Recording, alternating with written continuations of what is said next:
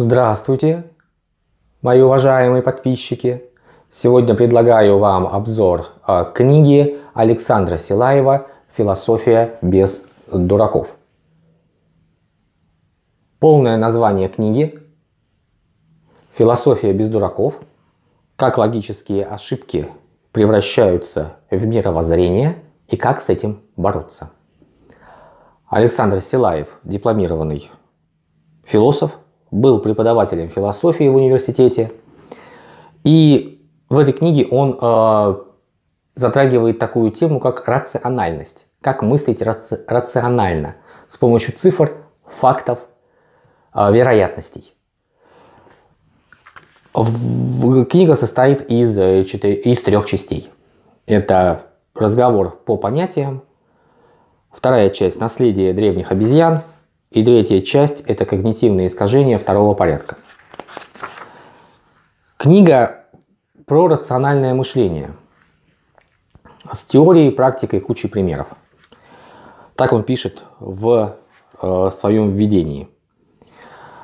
А что автор понимает э, под рациональностью? Это модели мышления. Модели мышления, которые э, выигрывают на продолжительном промежутке времени. А каждый человек, который живет, он, у каждого человека своя модель мышления.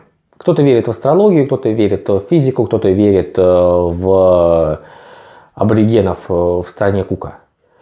И в зависимости от того, во что верит человек и на что он опирается в своем мышлении, э, его жизнь складывается так или иначе.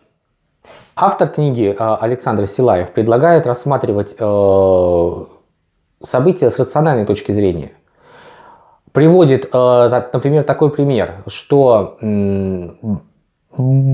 большая часть людей, которая живет на планете, э, плохо умеет работать с вероятностями. Э, приводит простой пример, что задавая такой вопрос, вы возьмете сегодня зонт с собой, когда будете выходить из дома или нет? Но для того, чтобы понять, брать зонт или нет, нужно понять, будет ли дождь или нет. И Александр предлагает э, воспользоваться теоремой Байеса из статистики, чтобы рассчитать эту вероятность. Используя те вероятности, которые нам даны, уже даны, и те вероятности, которые мы можем э, предполагать. Э, работа с вероятностями – это отнимает очень сильно э, энергию мозга. А известно, что э, наш мозг очень э, ленив и не любит думать. И любит действовать по шаблонам. И чем больше шаблонов у человека собирается за жизнь, тем э, меньше мозг думает. А когда мы пытаемся загрузить мозг работой, то он всячески от нее отбрыкивается.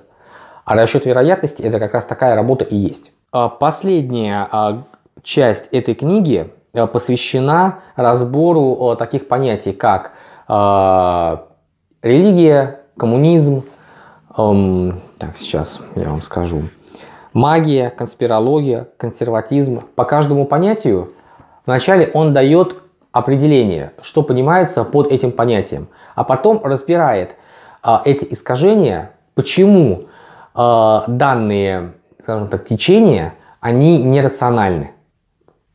Книга оказалась достаточно полезной, я ее буду еще раз перечитывать. И э, данную книгу э, можно приобрести в книжных магазинах как в печатном, так и в электронном виде.